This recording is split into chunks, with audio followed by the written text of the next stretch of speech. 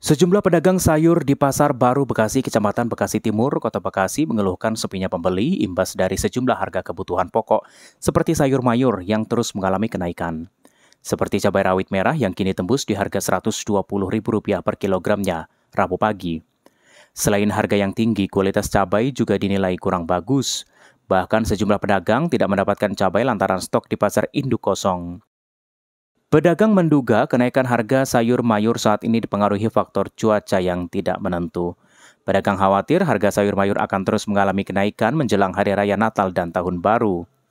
Selain harga cabai rawit merah, harga sayur mayur lainnya seperti bawang merah, tomat, cabai keriting, kacang panjang, dan buncis juga mengalami kenaikan sebesar 20 hingga 60 persen dari harga sebelumnya. Biasanya kalau murah mah Berarti udah memang naik turun. dua kali lipat. Kalau, kalau mau Natal ini memang ini agak Oh gitu. Apalagi kita tahuan. 120 Jualnya 120. ya. Bawang, bawang. Bawang 30 Bawang 30. Dua berapa itu? 10 ribu. Ya, pokoknya tolong ya nanti ya, pemerintah diturunin kesian yang bawa ekonominya apalagi sekarang kan PHK banyak Dari kapan Pak ini naiknya Pak? Hari ini, kalau kemarin masih 100.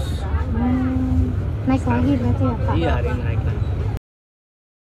Sementara itu di Pasar Rawasari, Cempaka Putih, Jakarta Pusat, harga cabai rawit merah tembus angka Rp100.000 dari sebelumnya di kisaran Rp70.000 per kilogram pada Rabu pagi.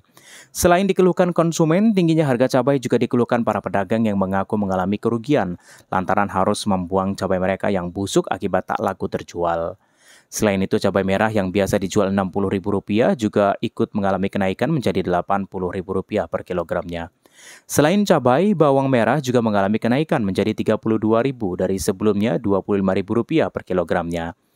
Kenaikan juga terjadi pada komoditas tomat menjadi Rp14.000 dari yang sebelumnya hanya Rp10.000 per kilogram. Harga yang naik itu apa aja Pak? Semua pada naik ya cabai merah, rawit merah. Uh, sebelumnya itu 60 sekarang harganya 80 Kalau cabai rawit merah? Itu naiknya melambung. Jauh ya? lima sampai sekarang terakhir Bang cabai gimana Bang harganya Bang? harga cabai naik terus gak turun-turun. Terus cabai rawit. Rawit merah. Cabai rawit merah drastis naiknya Para pedagang dan konsumen berharap pemerintah dapat segera bertindak untuk menstabilkan harga bahan pokok di pasaran. Rahmat Lubis Majid, Muhammad Ridwan, Cak TV.